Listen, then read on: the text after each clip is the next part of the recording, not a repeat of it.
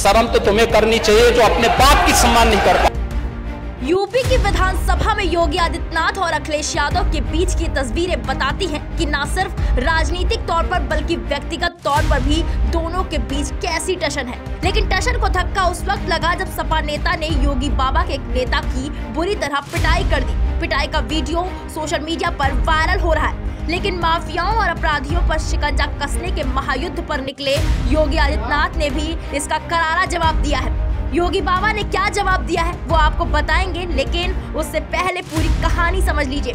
दरअसल ठीक 24 घंटे पहले एक वीडियो सोशल मीडिया पर जंगल में लगी आग की तरह फैल गया।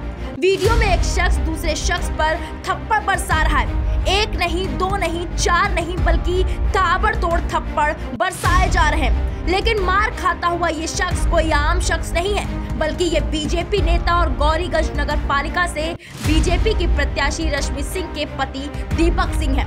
और पीटने वाले शख्स का नाम राकेश प्रताप सिंह है, जो कि गौरीगंज के विधायक है। वायरल वीडियो में सपा विधायक राकेश सिंह और उनके साथी गौरीगंज थाना परिसर के अंदर नगर पालिका अध्यक्ष पद की बीजेपी उम्मीदवार रश्मि सिंह के पति दीपक सिंह की पिटाई करते नज़र आ रहे हैं। इस दौरान पुलिस के साथ नोकझोंक होती है तो सपा विधायक पिस्टल निकाल लेते हैं। उसके बाद सपा विधायक कहते हैं, पिस्टल निकाल कर खुद को गोली मार लूँगा। अब सपा विधायक का ये वीडियो सोशल मीडिया पर जमकर वायरल हो रहा है। एक बार आप पूरा वीडियो देखिए। पिस्टल उठा के गोली मार दूँगा यही अपने आप को। अब ये बात पिस्टल उठा के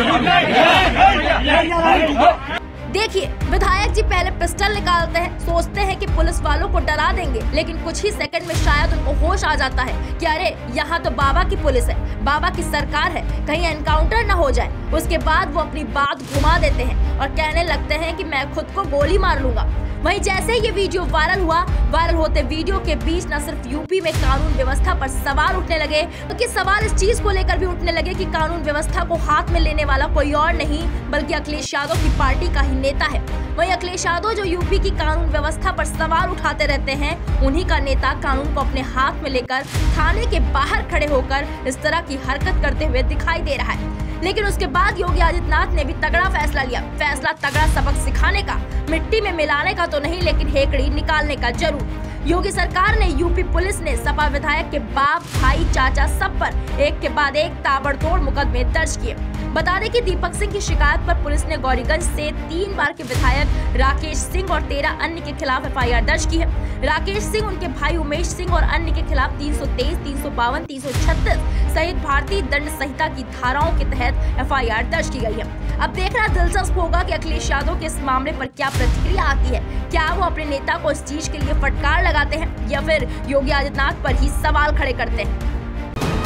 वीके न्यूज़, राष्ट्र के नाम।